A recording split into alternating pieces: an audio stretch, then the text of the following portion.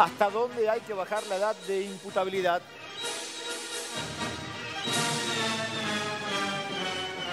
Bien, esa es la gran pregunta, ¿no? Eh, respuestas muchas. Variantes, un montón. Eh, Patricia Burrit habla de 14 años. Los otros dos candidatos fuertes tienen otra postura. La gente habla de que regrese eh, el servicio militar obligatorio como una posibilidad de ayuda a que muchos chicos dejen la esquina, dejen la calle, dejen de delinquir. Em, son distintos análisis, distintos puntos de vista. La Argentina se debe un debate profundo con respecto a este tema. Dame mensajes, Deni, por favor. La gente opina. Otra razón es que, bueno, empieza acá. Hola, buenas tardes. Si bajan eh, la pena de imputabilidad o la edad de imputabilidad no serviría de mucho ya que en este país lo que tendría que cambiar son los jueces, fiscales, etcétera, que son los que los liberan. Tendría que haber una ley que sufran una multa o algo ellos, ya que eh, a ellos nadie los conoce y no les importa mucho lo que sucede una vez dada la libertad. Bueno, ellos hacen lo que la ley les permite, no pueden tener una multa por aplicar la ley que hoy permite que los menores de 16 años no vayan detenidos. Bien, eh, voy a la calle con Agustina Binotti, en la zona de retiro. Agus, te escuchamos, dale. Sí, Dani, bueno, voy a, voy a volver a, esto de cazar gente, ¿no? ¿Qué tal? Buenas tardes, ¿cómo estás? ¿Sos mayor? ¿Sos mayor de edad? ¿Eh? ¿Sos mayor? ¿De cuánto necesita? ¿18? No. Bueno, era menor, era menor, me parecía que era menor, era muy alto. Era menor, pero era alto. Tengo una pregunta, ¿crees que hay que bajar la imputabilidad de los menores? ¿Cómo te va? ¿Hay que bajar la imputabilidad de los menores? Sí, por supuesto. ¿Me frenas un minutito así no te corro? ¿A, cuál, ¿A qué edad? Sí, a los 13 por lo menos. A los 13 por lo menos, bueno, corría. ¿Qué tal? ¿Cómo estás? ¿Crees que hay que bajar la edad de imputabilidad de los menores? Yo no soy de aquí, soy de Brasil, no hablo español. No Perfecto. Ten cuidado con el celular. Se le entiende bastante. Eh, avisale que tenga cuidado, ¿no? ten Es una zona complicada retiro. O con móvil. Claro. Bien, pará, pará, pará, Agus, ya vuelvo contigo. Eh, lo tenemos como invitado a Federico González, analista político. ¿Cómo te va, Fede? Gracias por venir. Muy bien, Bien. gracias por la invitación. Eh, en materia de seguridad, eh, ¿qué análisis haces eh, con respecto a los candidatos? ¿A quién viste fuerte y a quién viste flojo?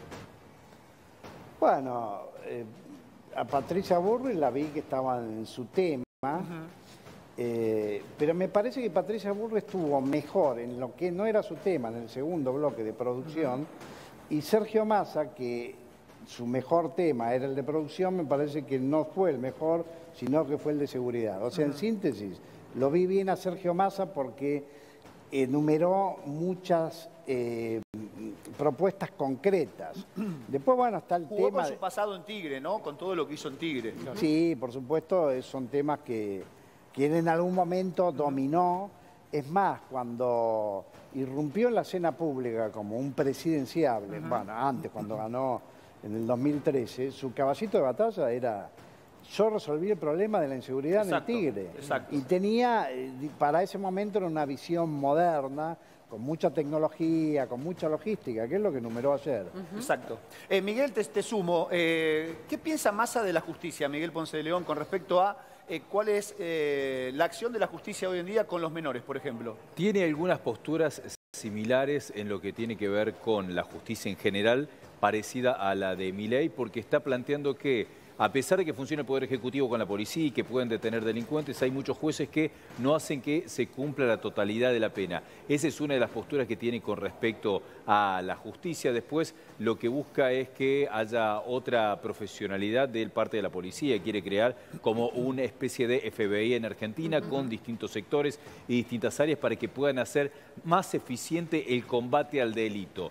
Lo que busca es, por un lado, que se cumplan todas las penas y al mismo tiempo más recursos para las fuerzas de seguridad. Bien, la gente sigue opinando en la calle y también al WhatsApp. Denny, tenemos mensajes. Sí, todo no pasa por el menor. Primero charlen con el padre, si es un tipo que no tiene antecedentes, o si fue chorro, él, porque un chico no se hace chorro por hambre, sino porque el padre le enseñó a hacer chorro. Alberto, no sé si siempre Bueno, es recién así. lo veíamos en el caso de Misiones y también a veces lo vemos en algunas cuestiones por ahí con las mecheras, más que nada, que utilizan a los chicos para que se guarden las cosas. No es un porcentaje alto, no lo sabemos, Dani, pero pasa, pasa que los inician él. Eh, sí, obviamente, sí, pero no, no es siempre y como en Argentina no se puede eh, penar a los padres por los actos de los niños, Exacto. ¿no? Eh, sería difícil quizás hacer. Buenas tardes, la justicia no hace prevención, la justicia trabaja sobre el hecho en sí, las leyes son responsabilidades de los legisladores, señores, eso Bien, es cierto. eh, es un punto eh, muy cierto, habría que cambiar la ley. cierto. Entonces, Claro. eh, es la pregunta que podemos llevar a la gente que nos está acompañando en este momento. Ayer en un momento, en un punto del debate, se habló del narcotráfico y de los soldaditos, Bueno. en donde los pibes de 12, eh, 13, 14 años comienzan dentro del mundo del narcotráfico, específica- específicamente en Rosario, a transitar, ¿sí? Eh, en formar parte de distintas bandas. Quizás en algunos lugares hasta chicos menores de 10 años. Totalmente. Yo hablo de 12, 13, pero en algunos lugares, creo que en Lugano, veíamos imágenes de chicos de 7 u 8 años que ya comenzaban a eh, formar parte de esta banda de narcotraficantes. La pregunta era, ayer a los candidatos, si había que crear una policía especial para combatir el narcotráfico. ¿Se tiene que hacer o no, Fede? Yo creo que eh, si tomo el ejemplo de la DEA, que tengo que decir que no, porque después la DEA se vio involucrado en temas de corrupción, porque era la policía indicada o el departamento indicado para, para convertir la droga. Entonces decís, ¿vale o no vale? Yo creo que Argentina en un punto está bastante complicado con el tema de narcotráfico. Y tendría que engancharle la vuelta, porque a veces minimizamos situaciones como Rosario y decimos, Sí. ojo que esto se puede convertir en algo más grande, y decimos, no, acá no pasa, porque vemos series en Estados Unidos. ¿no? Bien, dame el último momento, dale. Último momento.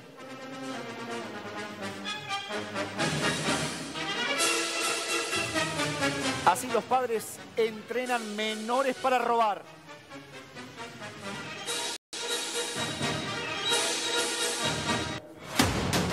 No es una locura. No.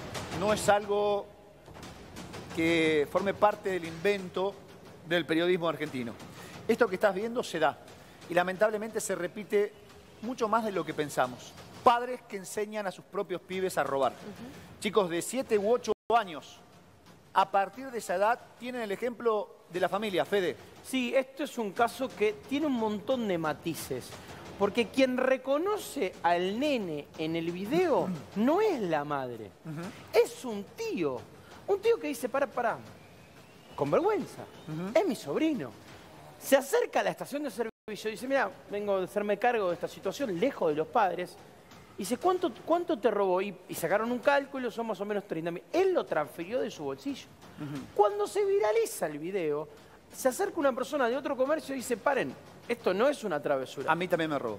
A mí también me robó. Entonces, acá, ¿cuál es la cuestión? Cuando lo vi por primera vez, perdón, Sí. Dije, es una travesura. Lo vi como una ¿Qué edad travesura. No sé por qué. ¿Qué edad? No. Siete tiene el Siete nene. años. Siete Eh, tiene el nene. años, Siete. ¿sí? Siete años. No, perdón, eh, nueve. nueve. Nueve. Pero, pero para esto, ¿sabes por qué no es una travesura?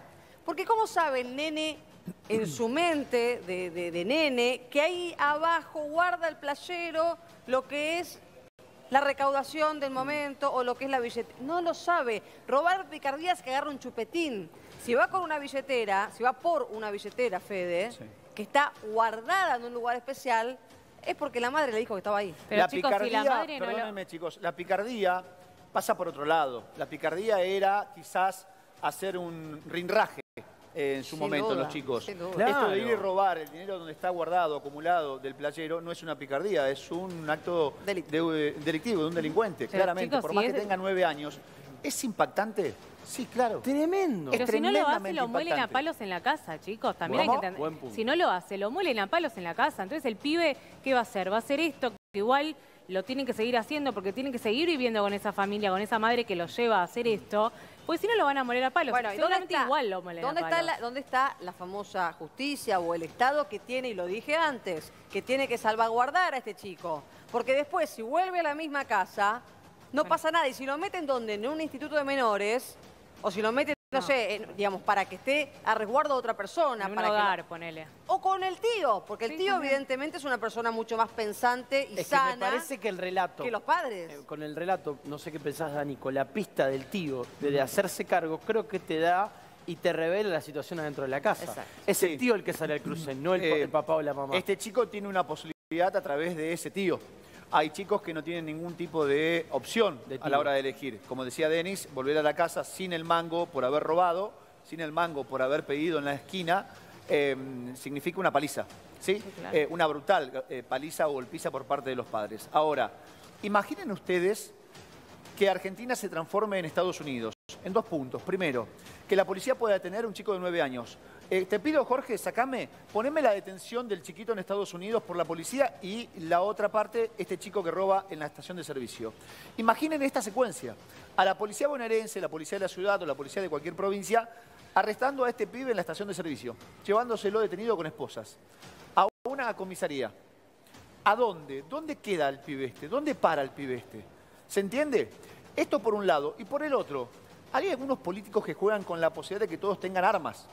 La libertad de estar armados en la Argentina, como se juega en Estados Unidos, en donde los pibes de 12, 13 Supermercado. años tienen armas. Los adultos tienen armas. Eh, ¿Podemos ser Estados Unidos en estos dos puntos? Mira, esta es la imagen, comparemos, eh, juguemos. ¿Qué piensan ustedes del otro lado? La policía de Estados Unidos deteniendo a un chiquito de 9, 10 años, ¿no? 9, Sí, 10 años. Miren ustedes cómo lo ponen contra este mueble, lo van palpando de arma, lo esposan y lo sacan, mostrándolo ante todo el barrio y los vecinos. ¿eh? Eh, es, es en la escuela, es en la escuela, el, incidente que tuvo con la docente, en donde la institución educativa toma parte de este asunto, se preocupa y la policía actúa. Ahora, esta misma secuencia, ¿se puede dar con el chico de nueve años en la estación de servicio que robaba la recaudación del playero? ¿Ustedes ven en la Argentina la posibilidad de que la policía llegue y se lo lleve detenido? Pregunto. No, no, no. Yo te ¿Lo- digo- ¿Lo ven, ¿Lo ven esto Lo- posible? te digo que no, pero Sí. ¿cuál- ¿dónde está el límite? Porque estamos, parecemos hablando muy delicados en la situación. Pero ¿dónde está el límite? ¿Se tiene que hacer cargo un tío? ¿Dónde está la madre? ¿Dónde está el padre? Yo a vos te conozco como, sos, Sí. como papá y que, lo- cómo, cómo cuidas a tus pibes, pero acá qué? Esa es la gran pregunta. ¿Dónde están los padres? Vuelvo a la calle, vuelvo con Agustina Binotti en retiro. Agus, dale, todo tuyo. Sí, Dani, cómo no. Vamos a buscar. Chicos, un minutito. ¿Te puedo hacer una pregunta? ¿Cómo estás? Quería saber, ¿qué pensás de bajar la edad de imputabilidad? No sé cuál es esa ley. Bueno, es una ley que dice que los menores no pueden ir presos y se plantea bajarlo para que Sí, sea. sí. No me parece tan buena, la verdad. ¿Por qué? Y porque me parece que un... ¿Qué? Depende de qué cometa. Claro, depende de qué Bueno, cometa, robo. Y yo creo que hay toda una situación anterior a eso. Me parece que hay que analizar por qué robo... No quiero, no quiero caer en romantizar la pobreza, pero me parece que hay que analizar por qué un nene está robando, qué hay que hacer, qué tiene que hacer el Estado antes que meterlo preso. Me parece a mí. ¿Qué, qué, qué propones que quizás hay que hacer, pensás vos? Y me parece que proponer eh, propuestas que, que- Educación, que se integre, que, que no haya exclusión, no sé, no, no sé tanto de política, pero me parece que se, me parece que hay que buscar otra forma, ¿no? El caer, no todos los nenes presos. ¿Vos vas a votar ahora en los próximos días? Sí, obvio. ¿Me querés contar qué candidato vas a votar? Que- Creo, creo que a Massa. Me Bueno. gusta Massa. Ah, mira. Está bien. Sé que no voy a votar a mi ley, eso sí. Ah, Bueno, mira. ok, muchísimas gracias. Dani, por ahí Bueno, pensábamos, ¿no? Que claro. por, el, ¿Qué por- tal? por la, edad, ¿no? Podía llegar a ser un votante de mi ley. Buenas Dale, noches. Buenas noches.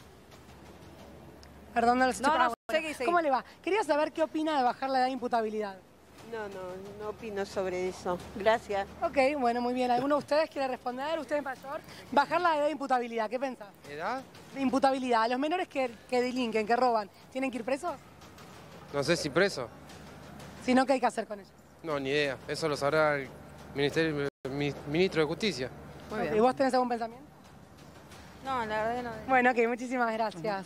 Para Agus, para Agus, mientras seguís hablando ahí en la zona de retiro, vamos a- al microcentro donde está este, otro móvil, ¿sí? Eh, con Tommy Munareto. Tommy, te escucho, dale. Dale, negro, seguimos hablando acá con la gente. Caballero, ¿qué le pasó en el brazo? Le hago una pregunta, ¿qué le pasó en el brazo? Bueno, no me cuenta, listo, gracias, un gusto. Maestro, ¿cómo estás? En vivo para Crónica. ¿Hay que bajar la edad de imputabilidad, sí o no? Ah, es extranjero, ¿de dónde es? No hay que bajarla. No hay que bajarla. Chileno. Chileno. ¿Qué opina del sistema de los vouchers de mi ley? Horrible, horrible. Buena en pregunta. Chile es fracaso total. Mirá Fracasó, que- no sirvió. frase, ¿eh? Sí, no sirve. Baja la calidad de la educación, eh, la- hay menos acceso. Es, es camina, mal, no, mal, todo mal. Perfecto, gracias, muy amable, gracias, por lo menos algo le sacamos. A ver, por acá. Toda- Hello, how are you doing? Thank you. Where are you from? From Vietnam. From Vietnam.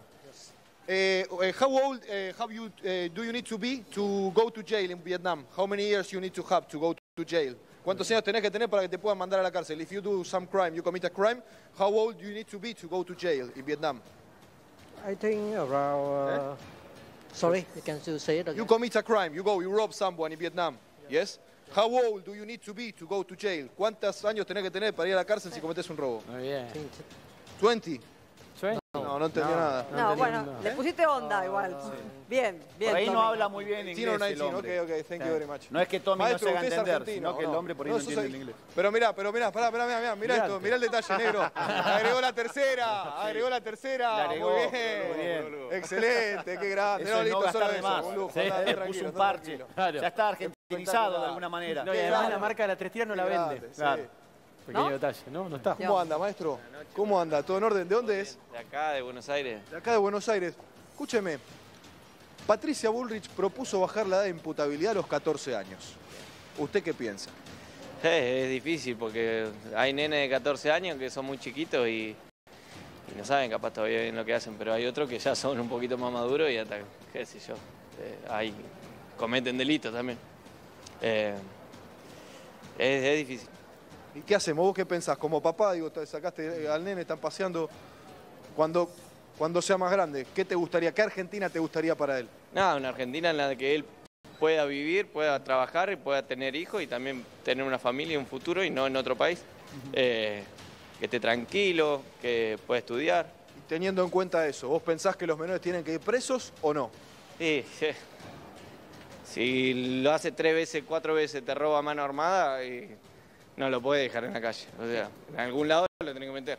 Gracias, maestro, muy amable. Claro. En algún lado lo tenés que meter. Es una ¿Cómo frase interesante bien? para, Sí, ¿cómo para? Pará, analizar, pará, para debatir. ¿Es segundo, meterlo por meterlo o es trabajar para recuperarlo? Ah, dale, dale. ¿Dónde Muy lado? Cortísimo. Eh, los menores de edad cometen un crimen, ¿tienen que ir presos sí o no? No.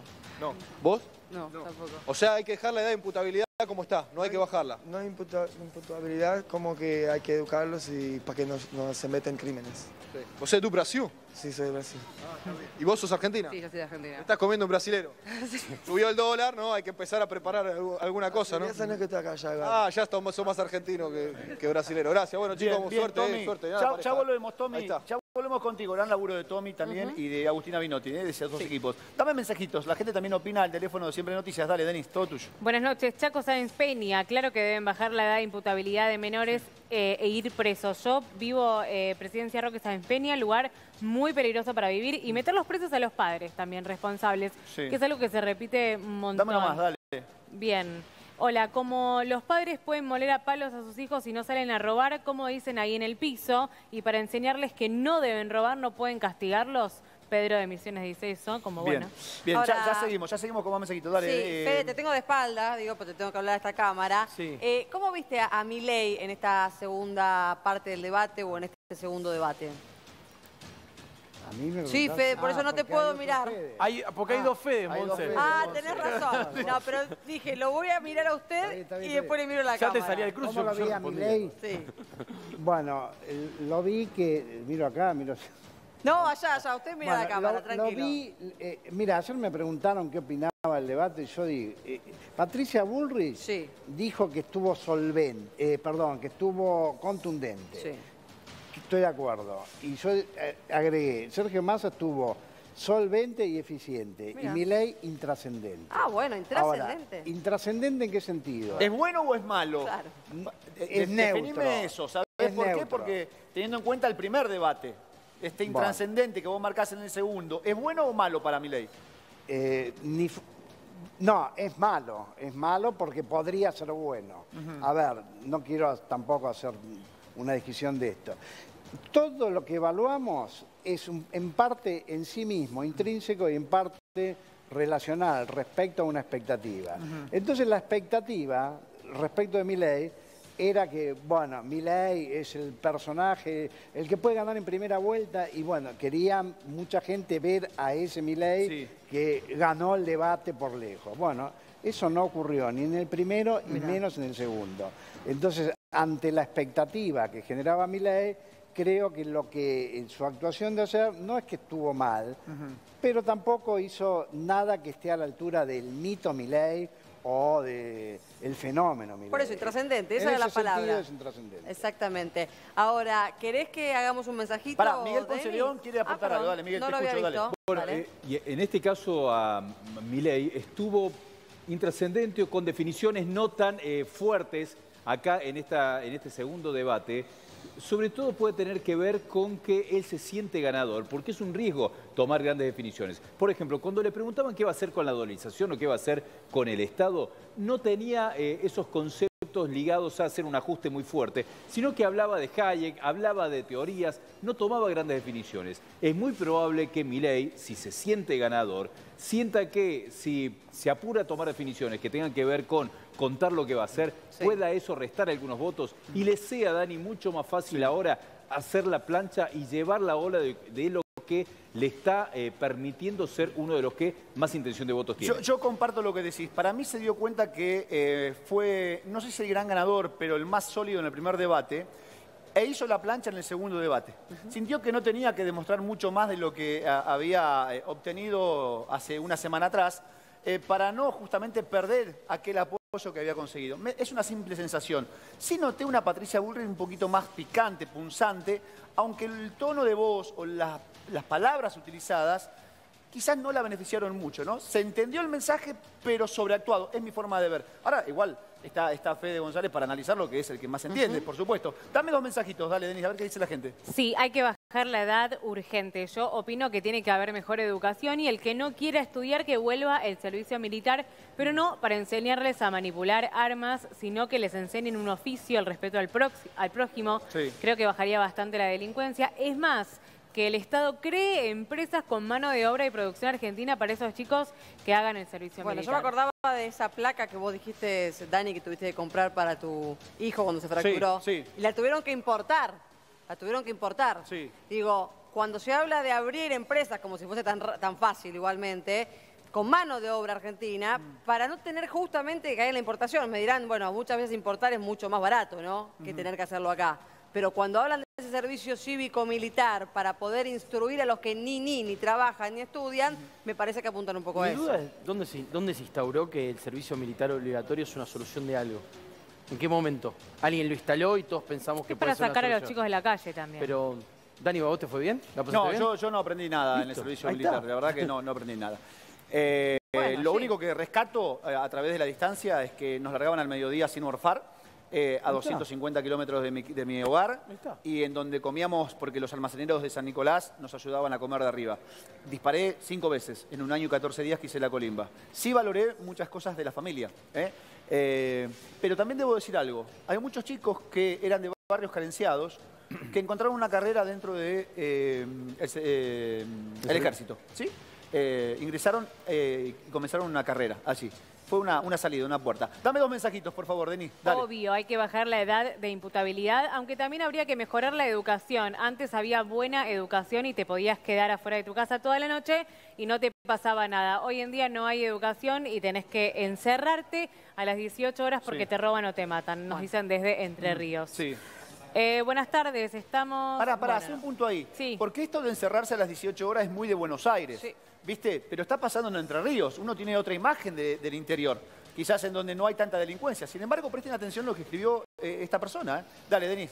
Buenas tardes. Lo que eh, plantea Bullrich vulnera el Tratado Internacional sobre los Derechos de los Niños. Eh, Islandia que hizo un plan en el comienzo de los 2000 para contener a los menores y que dio resultado. Este plan lo tomaron para implementar en varios países europeos a raíz del gran resultado. El problema argentino no es político, social o económico, es cultural. Bien. voy con Federico González. Tengo que dar nombre y apellido porque claramente hay dos Federicos en el estudio.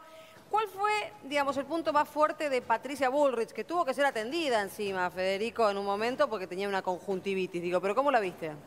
No, yo la vi bien, empezó con algunas imprecisiones y, y no, no eh, le costó entrar en calor, pero Bien. una vez que entró en calor para mí fue dentro de lo que es ella una planadora. Mira, una plana. Eh, sí, creo que estuvo muy... eh, para mí, Patricia Bullrich ayer tuvo momentos en que, como se dice en los medios, traspasaba la pantalla. Mira, yo- Una cuando dijo lo- que ella era una jugada de pizarrón, porque me imagino que la tenía preparada. Cuando le dijo a Sergio Massa, que agarraste la papa caliente, y, pero nos sí, nos convertiste puré. en, en puré. Eh, A mí me pareció sobreactuado. ¿Crees que te diga? Me, me pareció sobreactuado.